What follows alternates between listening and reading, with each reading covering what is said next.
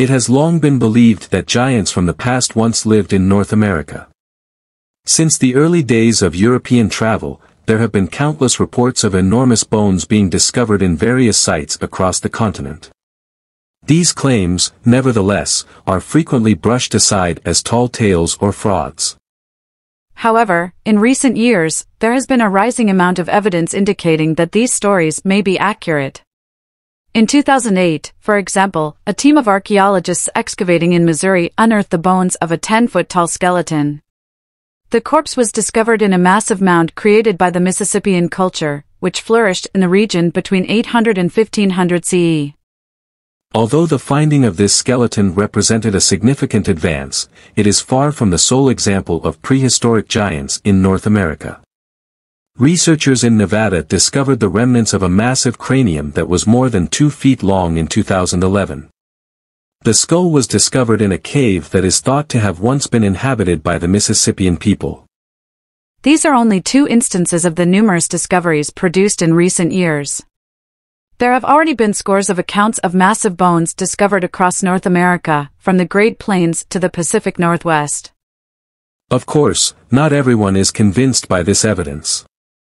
Some skeptics argue that the skeletons that have been found are simply the remains of people with rare genetic disorders, such as gigantism. Others claim that the stories of giant skeletons are just myths that have been passed down through the centuries. However, the growing body of evidence is making it increasingly difficult to dismiss the idea of ancient giants in North America. The skeletons that have been found are simply too large to be explained by any known genetic disorder and the stories of giant skeletons are too widespread to be dismissed as mere myths. It is likely that the ancient giants of North America were a genuine people that lived on the continent at one time. They might have been a vanished civilization wiped off by battle, illness, or natural calamity. Or they could just have relocated to other regions of the planet.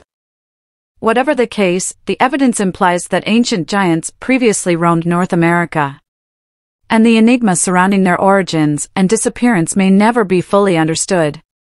Aside from physical evidence of enormous bones, there is a variety of legend and mythology that claims ancient giants previously populated North America. There are legends in many Native American tribes about huge creatures who were the forefathers of the contemporary humans. These giants are frequently shown as intelligent and strong, and they are frequently linked with natural forces.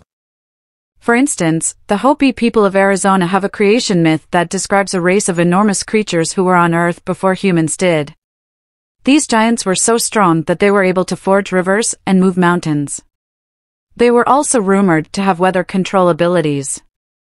The stories of giant beings in Native American mythology are often interpreted as being allegorical. They are seen as a way of explaining the natural world and the forces that shape it. However, it is also possible that these stories are based on real events. It may be that the ancient giants of North America were the ancestors of the Native American people, and that their stories are a way of preserving their memory. The mystery of the ancient giants of North America is one that has fascinated people for centuries. There is no easy answer to the question of whether or not they were real.